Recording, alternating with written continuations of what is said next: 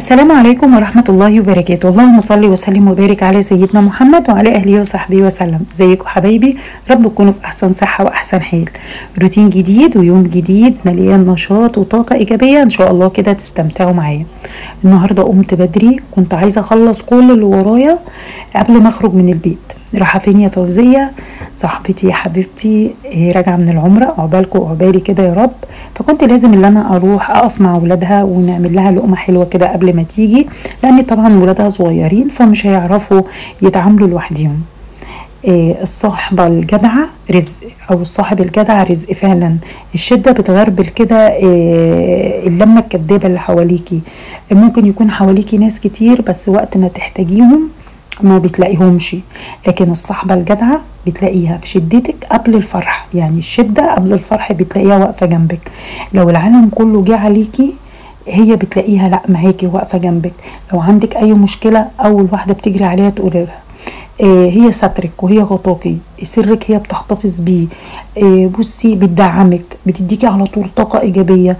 يعني هي ممكن تكون إن الصحبة دي بتبقى أكتر من الأخت. بس لو الصحوبية بتاعتها دي صحوبية بجد مش صحوبية كده تايواني كده آه، يعني القلب من جوه ما بيبقاش بيبقى فيه حقد فيه غيرة. فاللي بي- بيلاقي كده صاحبة جدعة يحافظ عليها ويمسكها كده يمسك فيها كده بإيديه وأسنانه. ودايما ندعي لأولادنا آه، إن ربنا يرزقهم الصحبة الصالحة لأن طبعا الصاحب ساحب. فالمهم أنا كنت لازم طبعا إن أنا أخلص كل اللي ورايا وأنزل أروح لها وأقف جنبها. فطبعا أول حاجة شربت القهوة بتاعتي ومسكت البلكونة كانت مطربة بصراحة والعصافير كانت مبهدلة البلكونة فجبت كيس كبير لبسته كده في القفص بتاع العصافير علشان ال- القشر بتاع الأكل ما يقعش في البلكونة. بعد كده مسكت الترابزين مسحته آه كويس جدا كان مطرب ومسكت البلكونة آه كنستها ولميت كل التراب الناعم دوت. البلكونة لو قعدتي بس كده يومين ما نضفتهاش التراب اللي هو الغامق ده بيكون حاجة كده فظيعة. هنا الولاد كانوا موقعين تقريبا شاي قهوة وهم قاعدين كده في البلكونة مش عارفة. المهم يعني حطيت آه، مية وكلوروكس ومسكت الحيطة غسلتها.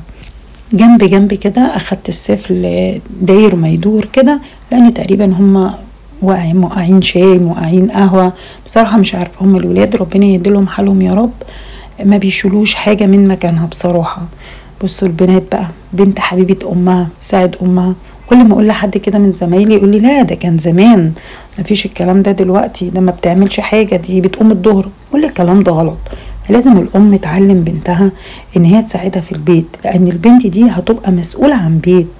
لازم تتعلم واحدة واحدة. وأهم حاجة بقى أهم حاجة إن الأم لازم تعلم بنتها إنها تعتني بنفسها. البنت وهي صغيرة كده لو ما تعلمتش إن هي تعتني بنفسها بتكبر وبتبقى مهملة. ففي حاجات كده برضو لازم ناخد بالنا منها يعني وإحنا بنربي ولادنا كده. مش أي حاجة التربية دي مش سهلة يعني.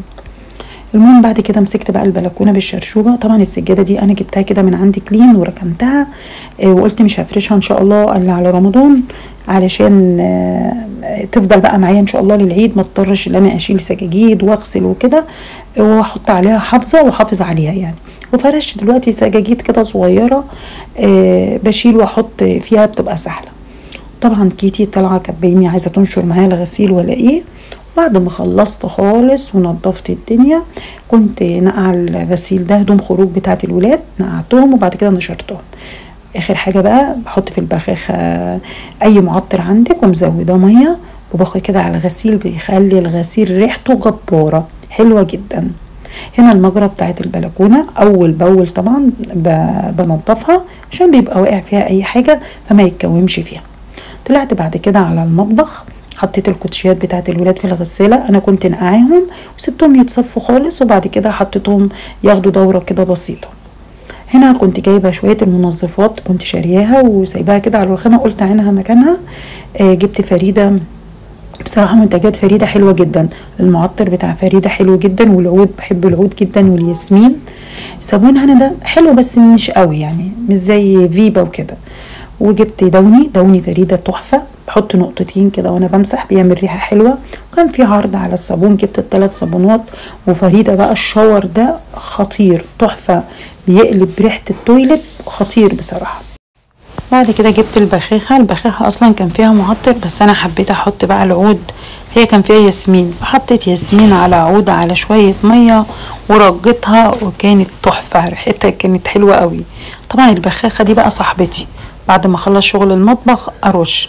دخلت أوضة النوم أرش. ال living أرش. عند الولاد أرش. أفتح الدواليب وأرش. بس ما ترشيش كتير في الدواليب علشان آه ما يعملش الهدوم يعني ما تتبلش مية وتبقى ريحتها مش حلوة. آه بعد كده مليت بقى السبونسر كان ما فيهوش آه صابون. حطيت صابونه في الإزازة وكده الدنيا بقت اتظبطت وبقت زي الفل. دخلت عملت الغدا. أسهل غدا اعمله إيه يا ولاد الحواوشي؟ فكان عندي نص كيلو لحمة مفرومة طلعته فك وبعد كده جبت بصلتين ضربتهم في الكبة وفلفل رومي فلفل سبايسي. طبعا الحواوشي لازم يكون كده مشطشط. حطيت ملح فلفل أسمر بهارات الحواوشي جاهزة كده بجيبها من عند العطار. قلبت كل الكلام ده كده مع بعضه وسبتهم كده ياخدوا ويدي بشكل ودي لمدة ربع ساعة عشان اللحمة تتبل وتاخد من ريحة البهارات اللي أنا حطيتها. وحتة ليا كده حلوة كمان تكون مفرومة تخلي الحواوشي بقى في حتة تانية خالص. بعد كده جبت العيش. آه أنا بعت ابني يجيب عيش فبصراحة هو جاب عيش كبير. هو الحواوشي بيبقى أحلى بالعيش الصغير. فقلت يلا بقى عشان أنا مستعجلة أنجز وخلاص فتحته كده وكده العيش بقى جاهز معايا. طب انتي ما عندكيش عيش طازة؟ لو العيش عادي في الفريزر بيطلع ويبقى زي الفل بس هتطلعيه. تسيبيه يفك براحته وتحطيه كده في الميكروويف لمدة ثواني بس عشان يطرى. عشان وانت بتحشيه ما يفتفتش منك ويفرور كده منك. طب ما عندكيش ميكروويف ولعي الفرن كده دقيقة كده بس ودخليه يطرى كده عشان تعرفي اللي انت تحشيه. بعد كده جبت العيش وبحشيه. آه النص كيلو ممكن يطلع لك 16 رغيف وممكن يطلع لك 7 رغيفة واربع رغيفة كمان حسب ما انت بتحشيه. طبعا العيش الكبير هو طلع لي 7 رغيفة لكن لو كان عيش صغير كان ما شاء الله طلع لي 16 رغيف. حشيت بقى كده اللحمة وبعد كده حطيت جبنة موتزاريلا الولاد بيحبوه كده بالجبنة. وكمان بحب أكتر اللحمة عشان دي وجبة غدا فالولاد كمان إيه يكونوا أخدوا الغذاء الكفاية يعني. جبت بقى سمنة سمنة بلدي. يعني بصي ما سمنة بلدي تدهني الرغيف كده بالسمنة البلدي وطاسة حاطة فيها زيت وحاطة فيها سمنة وأنا بصراحة بحب كده من فوق البوتاجاز أسويه. لكن مش حابة الطريقة دي. هتجيبي صينية تجيبي ورق زبدة ولو ما عندكيش ورق زبدة هتدهني الصينية سمنة أو زيت وترصي بقى الحواوشي وتدخليه الفرن. بس بحس إن هو في الفرن بينشف شوية. لكن هنا أنا بتحكم لو أنا عايزاه ناشف لو أنا عايزاه طري بتحكم في التسوية بتاعته.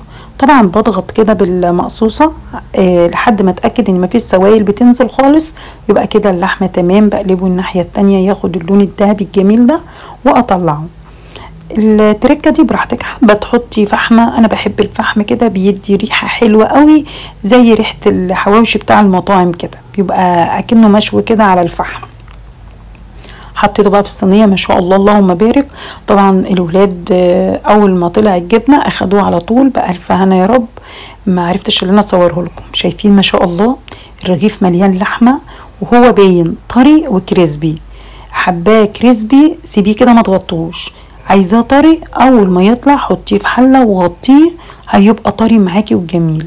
شايفين؟ ما شاء الله اللهم بارك. حلو قوي قوي قوي وريحته كمان تحفة. عارفين الرغيف دلوقتي بيتباع بره بستين جنيه. ليه يعني؟ ليه؟ يا سلام يا سلام يا سلام. طبق بقى المخلل اللفت اللي إحنا عاملينه مع بعض بطاطس مقلية وكلي بقى. سمي الله كده وكلي ما شاء الله. اللهم بارك. بعد ما خلصت الليمون ده أنا بحب ما برموهوش. ده كنز. اوعي ترميه. بحوشه عاملة كيس كده وحطاه في التلاجة أما باجي أعمل سمك أي حاجة يعني استعملت ليمون خلصت أرمي في الكيس دوت. بعد كده باخده بحطه على النار مع ربع كوباية مية ما تكتريش مية ويغلي غلوتين وأقعد أضربه بقى في الخلاط. والإزازة دي غطيها هتعملي بيها إيه؟ وأنا بمسح بحط. بغسل المواعين بحط الرخامات بحط كده في البخاخة مع كلوروكس وأرش الرخامات. بصي بيخلي نظافة خطير حاجة كده بتبرق. بتلمع. شايفين الخلاط بالكوبايات حلو جدا جدا. بحط كده في المية اللي أنا بغسل بيها المواعين. جميل. وأنا بمسح بحط وفي الآخر برضو بمسك الحوض. طبعا الحوض ده طبق من الطباق. بعد ما بخلص بمسكه برضو وأدعكه إيه وكمان بيعمل ريحة حلوة جدا. بس أهم حاجة ما تسيبهوش بره علشان ما يبصي بعد ما بخلص بغطيه وبحطه في التلاجة. كده اللهم بارك. بعد ما خلصت بقى ودعكت الحوض لبست بقى وهروح لصاحبتي. يلا أشوفكم في فيديو جديد إن شاء